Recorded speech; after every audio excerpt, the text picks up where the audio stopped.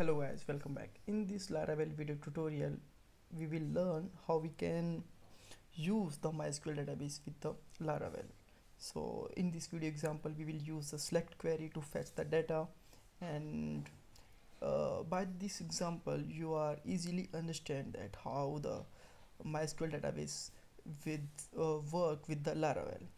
And you can easily implement the database queries with the laravel after this example so let's get started. So first of all i'm just opening my php my admin. Let's open that. So here you can see that i have a database name which is the the name is laravel and here I have one table which have the three columns with the id name and emails. So now just open your the laravel environment so here you can see that I have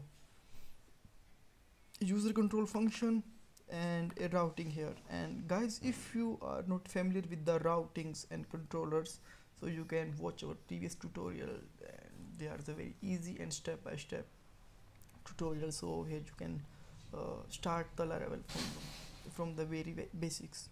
So here first of all I have to use the I have to import the DB library. So use the illuminate and just go to your support and use the packets. Oops.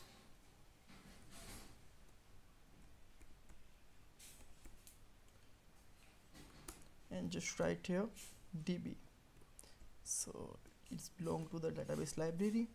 And now just take a simple variable with the data and you can take whatever you want and just use the db class with the scope resolution method and take the select function and write your simple query here like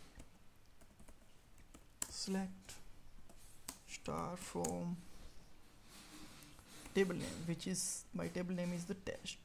So there is the query. And how we can connect with the database? So how we can make the connection?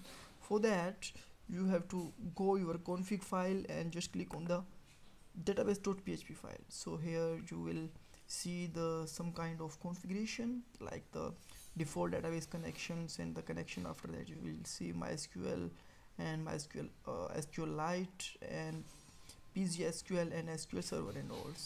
So we will play with the MySQL in this video tutorial. So here you can see that the three key points which is the database name username and password. So here you you are able to see that we have of like a function something which is the env and here have the two parameter which is the db name and forge. So for that what is the env so this is the environmental file function. So here you can if you want to see that just check with the this file and here you also find the same three functions. So if you want to uh, make your connection so you can directly change from the here and uh, if you would like to change the uh, function with your database config file so directly you can put your database name here. So my database name is laravel. Okay. So username is root and my password name is admin. The this in your case it could be blank or it could be null or something else. So be aware about the password field also. So now just open your laravel screen browser and just refresh this this screen. So okay so there is nothing error but nothing to show here.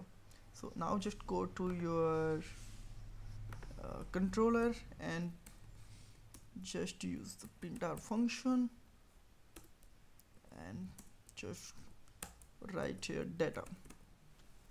All right.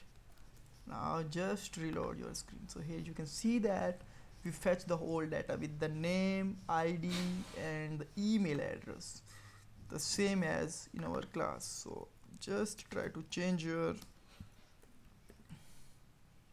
name and reload your screen also. So this is changed here also.